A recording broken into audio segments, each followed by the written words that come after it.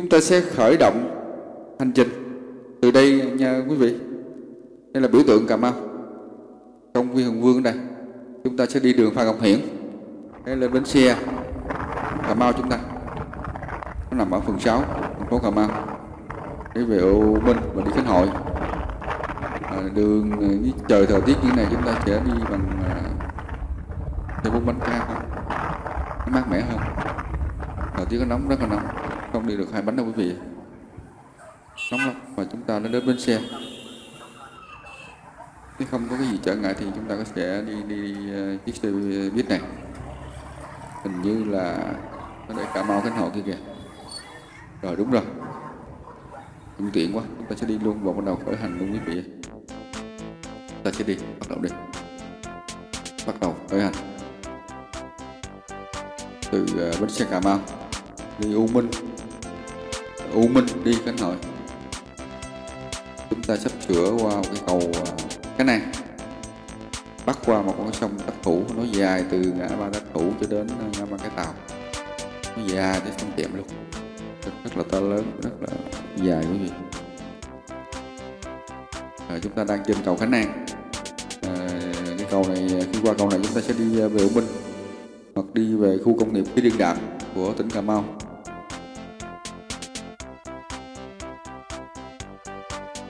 Thì ít phút nữa quý vị sẽ thấy những cái à, đặc trưng của mình, hương vị của mình,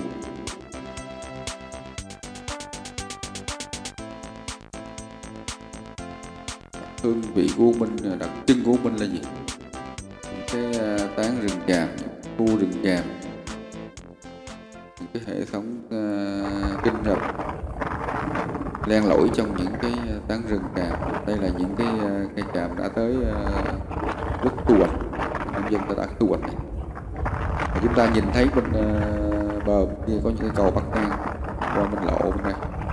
Thì uh, nhà có những cái dòng kinh để dọc sâu vào trong rừng đó là để dùng để uh, dẫn nước vào rừng để chống hạn hán uh, khô trong, trong rừng. Chống uh, cháy rừng.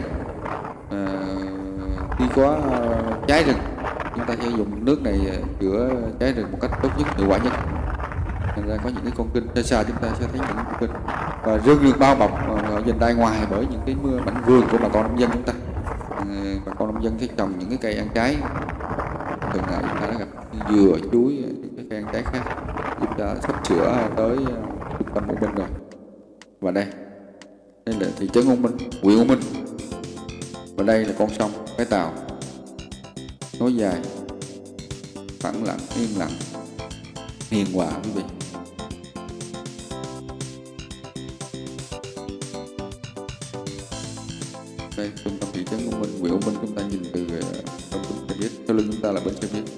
Từ đây chúng ta sẽ làm một chuyến hành trình nữa. Để đi về à, cửa biển Khánh Hội, làng chài Khánh Hội.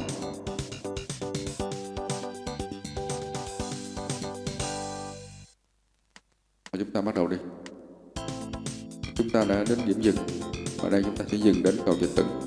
Cầu Dịch Tửng à, kinh Dịch Tửng cách làng chài cửa biển à, Khánh Hội khoảng 2 km vì thời gian ờ, cũng ờ, có hạn, chúng tôi không đi tới làng chài. Chúng tôi sẽ dừng chân ở đây, tại nhà người thân của chúng tôi. Và mọi việc chúng tôi đã nhờ sắp xếp trước như là à, có đi đến làng chài, tìm mà mua những cái thức ăn, hải sản biển. Đây là những con đường làng. Đây là những dòng sông. Nước rất là ngọt quanh năm quý vị. Cây trái tốt tươi quanh năm quý vị bên ngoài biển là mặn và ngăn bởi những con đê cao lớn, to thì trong này là nước ngọt. Cây trái sông xê quý vị. Và chúng ta đã tới nhà anh cụ rồi. Và nhà có một người thân với chúng tôi. Rồi, chúng ta bắt đầu. Khởi sự mục đích của chúng ta. Mục đích đi làm món ăn, đi tìm món ăn, kiếm món ăn dân dã. Và đây, tôm tích tươi xanh tươi sống rất là ngon quý vị. Vừa mang từ làng chài cánh hội về đây quý vị. Thì trong hình ờ, trong phim ờ, thì chúng quý vị nhìn có rõ không? Thì có người nói tôm tích bán ờ, đầy ngoài chợ nhiều như lắm rẻ lắm rất là dễ ăn như không. Đây tôm tích này là tôm tích bự tích uh, thịt rất là ngon mà chúng ta ta bắt đầu làm món này chúng ta phải gọt gừng chắc gừng. Hái gừng ra. Để có thể để nguyên mảnh miếng hoặc là ờ, thái sợi ra tùy theo sở thích mỗi người. Quả chanh phải dùng làm nước chấm. Và một cái lẩu nước dừa. Nước dừa tươi nha quý vị. Chúng ta sẽ cho ít muối vào. Tiếp một ngọt vào. Đây là nước chấm muối chanh ớt chúng ta không có dùng muối tiêu chanh. Mà chả tươi sống này chúng ta sẽ dùng à, muối chanh ớt rất là ngon. Mặn chua cay. Chúng ta tiến hành bỏ gừng vào trước rồi. Đây là nước sôi lên chúng ta sẽ bỏ tôm vào cho tôm vào. Đây là những con tôm còn tươi sống. Tươi sống chính thống quý vị. Nó còn tựa vậy còn những nhích thế này. Thịt rất là ngon. Tôi nhìn là đã, đã thèm rồi tươi chính mình nên đổ với cả cả nước bọt ở đây.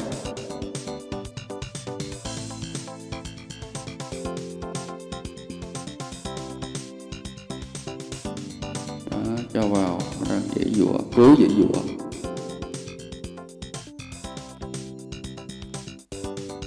Tìm cách dễ dụa.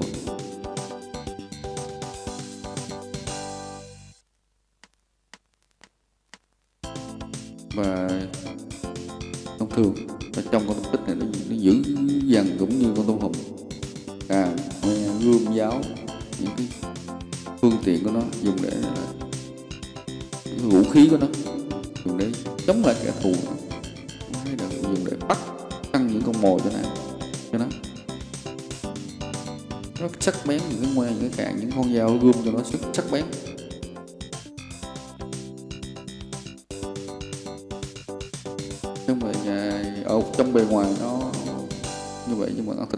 Quý vị. Rồi tôm sắp sữa chín rồi.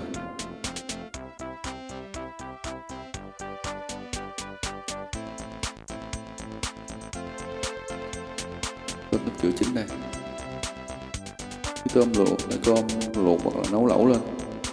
Có màu đỏ đỏ. Rất đẹp mắt quý vị.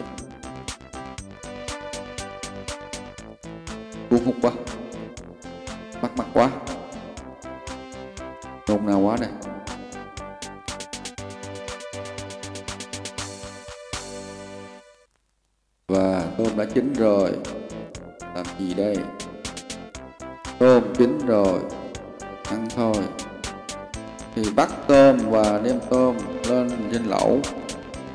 Nấu chín là một chuyện rất là dễ, nhưng ăn nó như thế nào mới là chuyện quan trọng đây? Với một con tôm gai góc như thế này. Chúng ta sẽ làm gì? Bắt đầu, cắt bỏ một cái đầu. Rồi, hai cái đường gai hai bên hông từ dưới bụng, từ đầu đến đuôi. Chúng ta sẽ cắt bỏ đi. Đó đó, cắt cắt ngược từ dưới đuôi lên đầu. Ta sẽ cắt xong. Để chúng ta dễ lột. Chúng ta để nguyên, chúng ta không bao giờ lột được. Hai bên đó là những hai cái hàng gai rất là chắc chắn.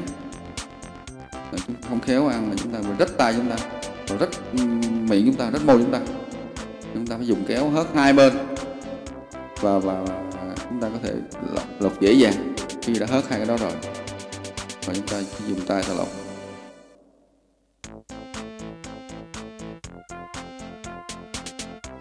À, ăn thôi. Đây. Ngon quá. Tuyệt tuyệt tuyệt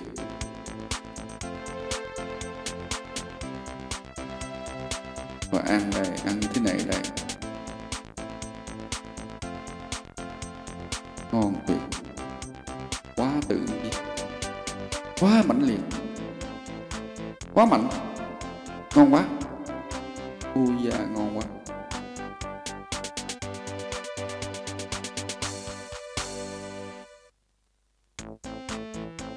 Và xem anh ta làm gì đây?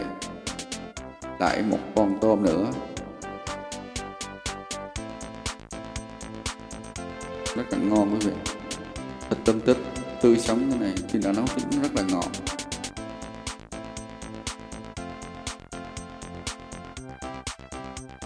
Lại một con tôm nữa.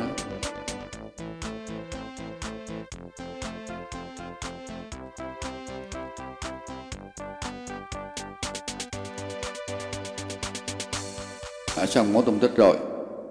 Bây giờ chuyển qua món thứ hai. Bữa nay đi đi làng chài ăn đồ biển cho nó đã. Chuyển qua món mực. Nó lẩu nước dừa luộc nước dừa. Những mực này tươi sống quý vị. Còn tươi trong nha quý vị. À, cho mực vào lẩu. Trộn đều lên. Trở bề đều lên. Đây là những con mực rất là tươi quý vị.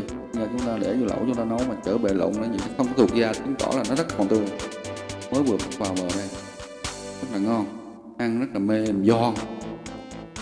Mà chúng ta luộc nó không bị teo nữa. Nó còn giữ nguyên con mực nó như thế rất là tròn mặn luôn.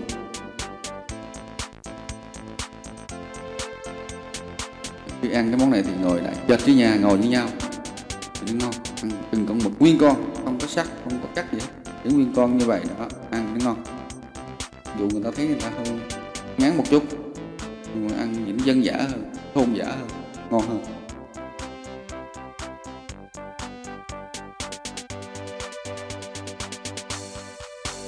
Quá ngon. Thiệt là ngon thiệt là tuyệt, không có ý kiến luôn mà.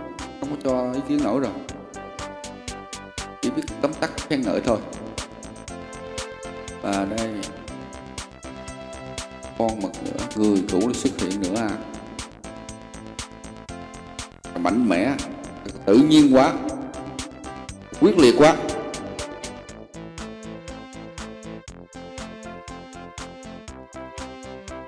Ngon tuyệt. Đây là những con mực trứng đó quý vị. Khi chúng ta luộc nó trứng nó cứng như nó căng bóng con mực rất là ngon, trứng rất là béo. Thì có những mực trứng mà còn tươi này luộc ăn rất là ngon cái căng rất là đầy cho con mực. Là ngon ồ là ngon. Quá sao lại ngon.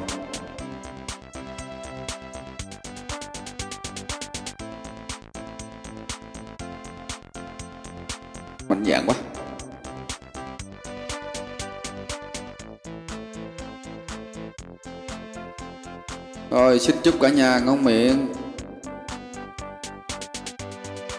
Thì à, quý vị nào có thích làm món ăn các loại món ăn thì liên hệ với chúng tôi. Chia sẻ kênh. Hoặc là trong những ngày nghỉ này quý vị sẽ à, tìm những món ăn dân dã cho mình. Chào và hẹn gặp lại trong video tới. Xin chào tạm biệt.